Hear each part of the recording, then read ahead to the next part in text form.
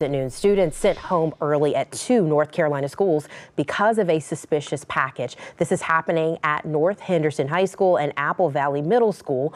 Both schools are in the same building along Fruitland Road in Hendersonville. The district says around 8 this morning, police were called to North Henderson High for a suspicious package. Officials evacuated both schools to be safe.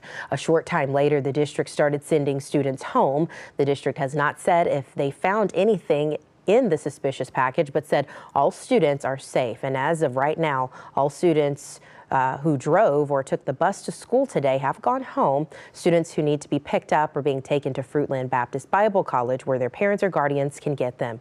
There is a news conference set for 1.30 this afternoon. Of course, we'll keep you updated as we learn more.